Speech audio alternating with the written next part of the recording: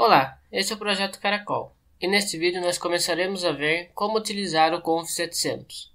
O Conf 700 é o nosso programa para programar o nosso CLP LC700. Então, o primeiro passo, vamos abrir o Conf 700. O Conf 700 abre, aparece essa janela aqui de informações, daqui a pouco ela some. E pode ser que apareça essa janela de registro. Caso ela apareça, você pode tanto fechá-la quanto clicar em continuar para prosseguir. Daí, quando a janela de registro sai, aparece essa janela aqui para você escolher uma opção de nova configuração para criar uma nova programação, abrir uma configuração existente ou conexão online para se conectar com o CLP.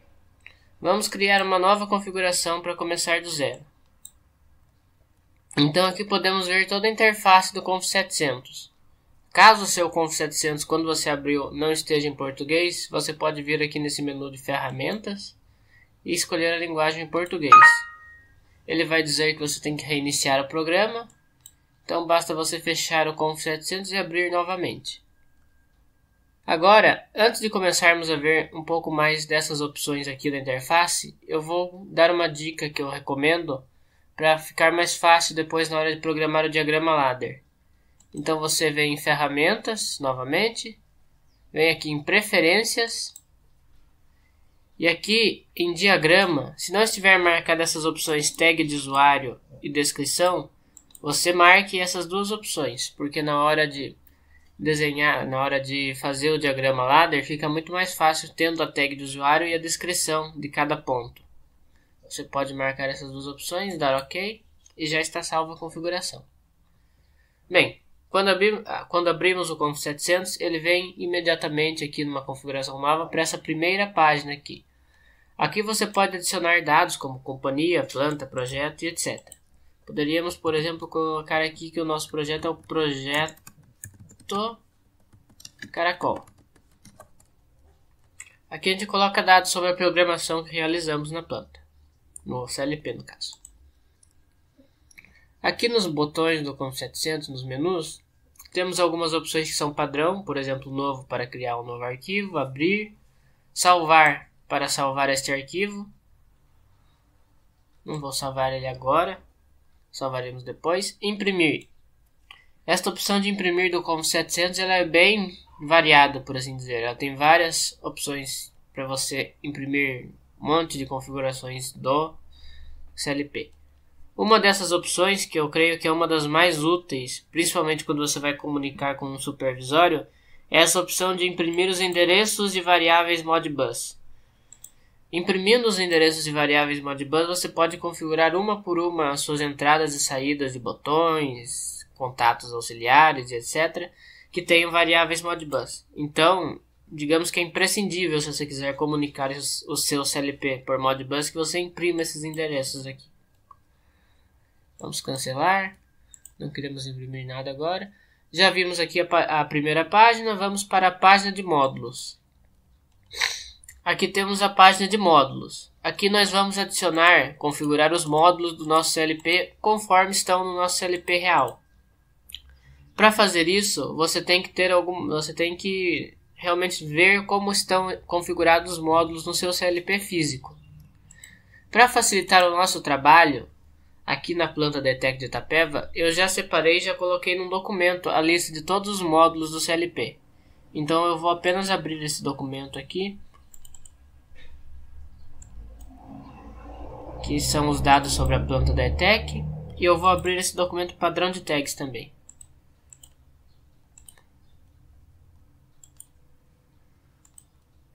Aqui. Esse documento aqui, se você estiver na, usando a planta Detect depois, ele tem todos os dados dos módulos do CLP na época do projeto Caracol. Então temos aqui todos os módulos da nossa, do nosso conjunto CLP. Esses dois primeiros PS, ACR e CPU 703 você pode ver que já estão aqui porque são módulos padrão, eles têm que estar nessas duas primeiras posições. Daí logo depois deles vem o módulo ENET 710 e um M401R. Então para adicionar um módulo você clica nele e nessa seta você tem uma lista de todos os módulos disponíveis para procurar.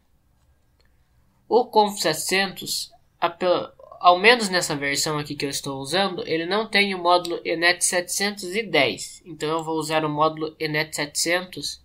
Nesta região de comentários aqui, eu vou colocar um comentário para dizer que na verdade estamos usando o 710. Na verdade, ENET 710. Logo depois vem o módulo M401R. E este é o módulo de entrada analógica, então ele é um módulo especial, ele deve ser configurado. Aqui ele pergunta a tensão do sinal analógico, só que nós não estamos trabalhando com sinal de tensão de 0 a 5 volts, nem de 1 a 5 volts. Nós trabalhamos em todos os sinais analógicos da planta da ETEC de Itapeva com um sinal de 4 a 20 mA, é um sinal de corrente. Então aqui não precisamos alterar nada porque não vai fazer diferença. Podemos dar simplesmente OK. E você pode ver que aqui acabaram os espaços para inserir módulos. Isso porque aqui estamos considerando apenas um REC, que é o REC 0, e o nosso CLP tem dois RECs. Então, para adicionar um segundo REC, temos que vir aqui nesta parte de baixo e clicar nesse REC 1. Temos que marcar que esse REC está em uso e que depois dele temos um terminador, porque é o último REC do nosso conjunto do CLP. Agora sim ele já abriu mais espaços para adicionar módulos.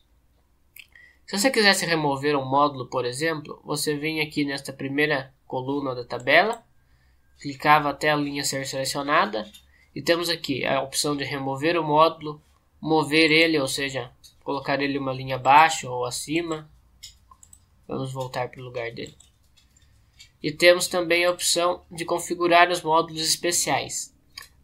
Por exemplo, esse aqui é um módulo analógico, ele é um módulo especial. Então ele tem uma configuração extra, que é aquela configuração lá de tensão do sinal analógico. Vamos cancelar.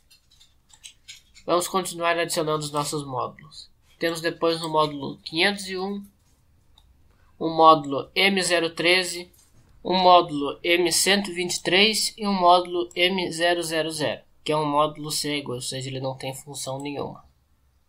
Então vamos adicionar estes módulos conforme eles aparecem no nosso CLP. Módulo M501. Ele novamente, como é um módulo analógico, ele vai pedir o nosso sinal analógico. Então aqui temos o sinal de 4 a 20 mA, que é o nosso sinal de corrente. Então vamos marcar todos nesta primeira opção. Vamos dar OK. Depois temos o módulo M013. O módulo M123. E o módulo M000. M000. Aqui. Agora já configuramos os módulos do nosso CLP.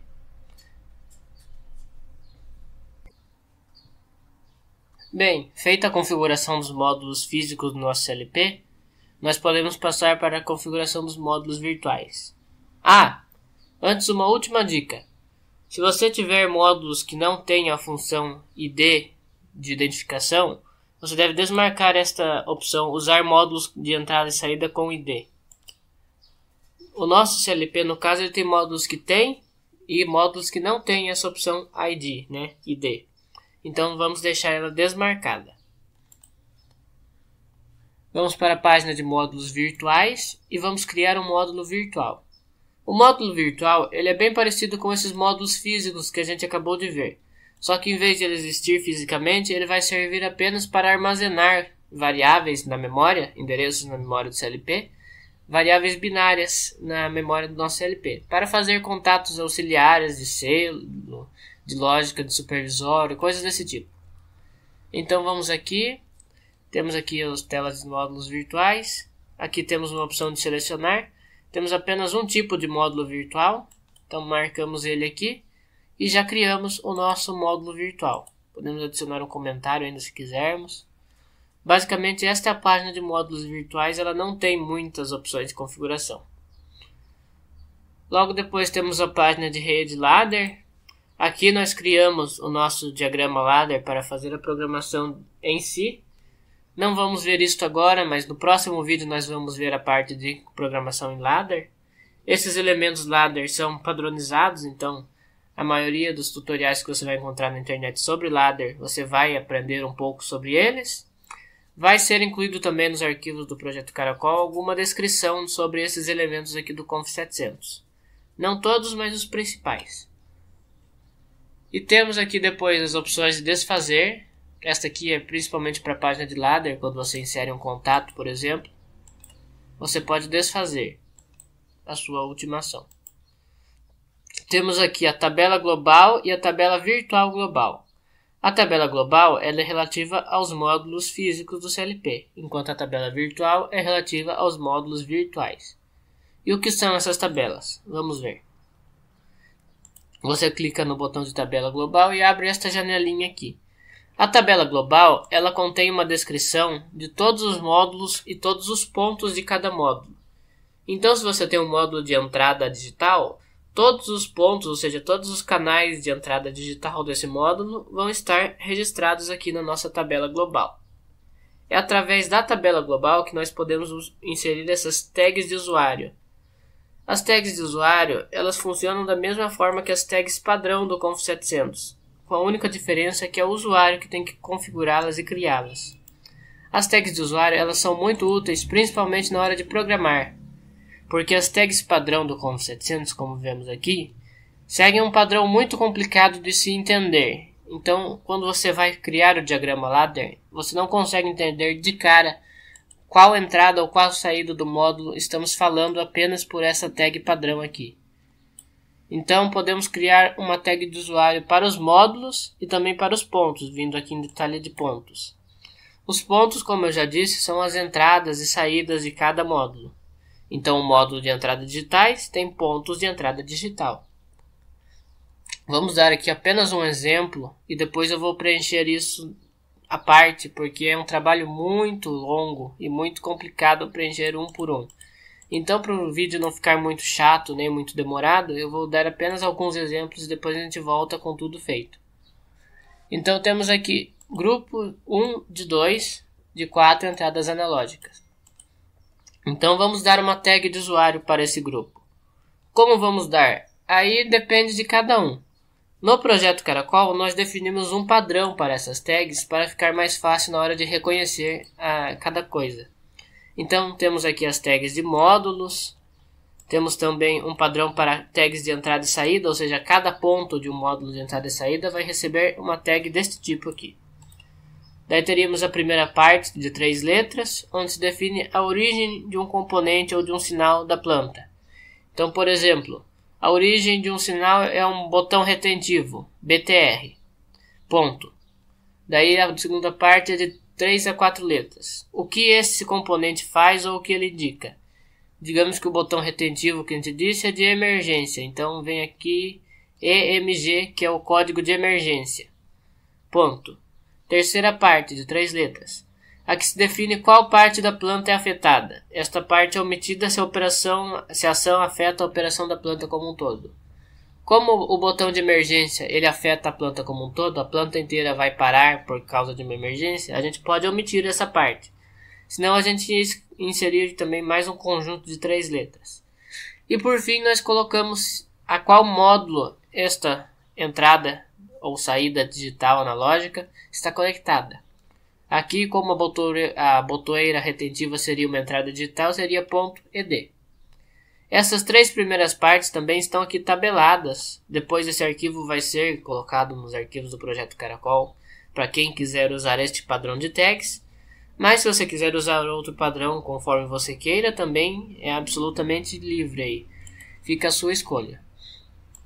Então, segundo o padrão de tags do projeto Caracol, essa tag de usuário vai ficar assim. Como é uma entrada analógica, ela começa com EA, é a entrada 1, porque é a primeira entrada do CLP, ponto 1, porque é o primeiro grupo. O Conf 700 ele agrupa em grupos as entradas analógicas. Então aqui temos um grupo de três canais do nosso módulo e depois temos um grupo de mais, aliás, quatro canais depois temos mais um grupo de quatro canais no nosso módulo. O módulo físico é um só, mas o Conf 700 ele divide o módulo em dois, eu não sei direito porquê. Então aqui, entrada analógica 1.1, enquanto aqui é entrada analógica 1 também porque é a primeira, ponto 2 porque é o segundo grupo desta entrada analógica. E aqui em detalhes de pontos temos cada um dos canais da nossa entrada analógica. Para saber o que está conectado em cada canal, você tem que ver o diagrama elétrico da sua planta ou inspecionar os módulos físicos realmente. Ou aqui no nosso caso da ETEC de Itapeva, eu já fiz isso e eu já marquei também neste arquivo dados sobre a planta. Então temos aqui a identificação na tabela global do Conf 700 de cada canal e o que está conectado neles. Então vamos ver aqui que no módulo M401R, que são as entradas analógicas, temos no canal 0 da nossa tabela global conectado o dispositivo LD301, que está fazendo a vazão, eh, está medindo a vazão do tanque de aquecimento. Então, novamente, segundo este documento e segundo este padrão de tags, nós vamos escrever esta tag de usuário desta forma. Ele é o transmissor trm.vas, porque ele transmite a vazão do tanque de aquecimento e é uma entrada analógica.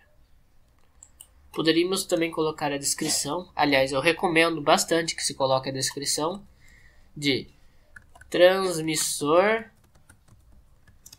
vazão opa, va, vazão tanque de aquecimento. Ou nem colocar transmissor, colocar apenas que é a vazão do tanque de aquecimento que está medida aqui. Nesse mesmo módulo, nesse mesmo modo, quer dizer, podemos colocar aqui embaixo o que vem depois desse módulo, desse ponto aqui. Então, logo depois desse transmissor, temos o transmissor de vazão do tanque de mistura. Então aqui faríamos o mesmo padrão, apenas mudando o tanque transmissor ponto vazão ponto tanque de mistura ponto entrada analógica e aqui eu vou até copiar copiar Ctrl C colar Ctrl V. Vazão tanque de mistura. E assim como a gente fez para essas duas entradas analógicas aqui você teria que fazer isso tanto para esse módulo quanto para esse e esse aqui. Enfim para todos esses aqui. É um trabalho realmente difícil, é um trabalho demorado, que exige paciência, mas depois ele facilita muito na hora de programar. Como aqui a gente quer deixar o nosso vídeo meio curto, eu vou parar o vídeo e depois a gente volta com essa parte concluída. Bem, terminamos aqui de colocar todas as tags de usuário e as descrições. Então temos aqui os módulos de entrada analógica, de saída analógica, entrada digital, e saída digital, com as devidas descrições e as tags de cada ponto e de cada equipamento conectado nesses pontos. E também alguns equipamentos reserva, como temos aqui, duas reservas. Alguns pontos reserva. Ok? Temos também aqui a tabela virtual global. Nela nós temos o nosso a nossa tag de usuário que podemos alterar aqui para ver. Ah, aqui já está VM1. Temos a tag de usuário e temos o detalhe dos pontos. Como nós não usamos ainda esses pontos, nós vamos usar eles na parte de programação para criar contatos de supervisório e para monitoração remota. Nós vamos deixar eles por enquanto sem tag de usuário e sem descrição. Mas para fazer a tag de usuário e a descrição é assim como se faz na tabela global, se faz na tabela virtual global. Segue o mesmo estilo. Temos aqui uma tabela de endereços Modbus onde vão estar, vão estar endereçados todos os nossos módulos de entrada e saída virtuais e blocos de função. Tudo que puder, puder ser acessado pelo protocolo Modbus no supervisório, ele vai estar endereçado aqui. Inclusive, aquelas tags virtuais, aquelas tags de usuário que criamos já, já estão aqui mostrando e já está mostrado o endereço delas. Então, se você quiser marcar cada um desses endereços depois na hora de fazer jogar no supervisório fica mais fácil com essa tabela de, de endereços Modbus. Podemos fechar aqui. Temos aqui uma opção de pesquisar, que ela serve principalmente para rede ladder aqui que nós estamos. Podemos cancelar. Você pode pesquisar também por aqui. A rede ladder nós não vamos ver muito. Temos uma opção de editar funções de usuário, vamos ver isso depois. É uma função avançada, ela serve para criar alguns blocos de função especiais. Temos aqui a opção de adicionar rede ladder, então quando a gente for fazer alguma rede ladder, a gente pode adicionar aqui para criar várias redes de programação. Temos aqui a opção de dividir horizontalmente para ver duas programações juntas na rede ladder. Temos aqui a configuração de qual rede vai ser processada primeiro, depois no CLP, se ela vai estar habilitada ou não. Vamos tirar essa parte de dividir horizontalmente. Temos aqui uma opção de verificar a configuração, que depois que você programou o seu CLP, ele vai poder fazer uma verificação e ver se existe algum erro na sua programação, ou ao menos algum erro superficial que seja facilmente detectado. Temos aqui uma opção de ajuda para abrir um manualzinho dando uma descrição breve de como funciona o Conf 700 e temos a opção de ir online. Clicando aqui ele vai começar a procurar o seu CLP. Como agora o CLP não está conectado, ele não vai encontrar nada. Mas você vai usar isso aqui para comunicar com o CLP. Opa, ele deu um erro porque não está, não existe o CLP conectado. Você vai usar essa opção para se conectar com o CLP e para passar a programação.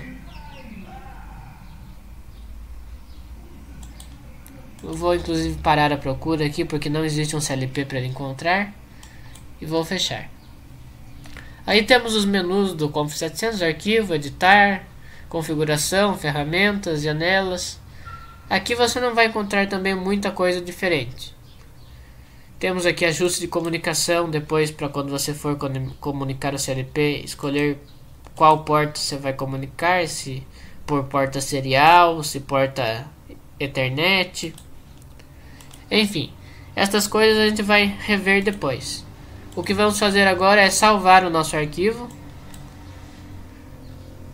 Vamos clicar em sim.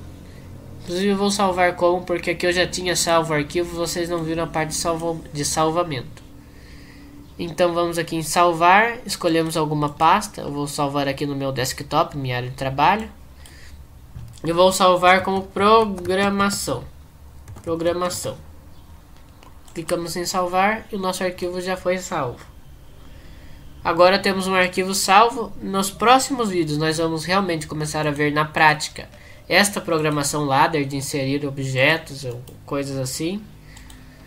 Mas por enquanto é isso que a gente tinha para ver hoje. Vimos a página inicial, a página de modos, módulos virtuais e como usar essas tabelas global e tabela virtual global.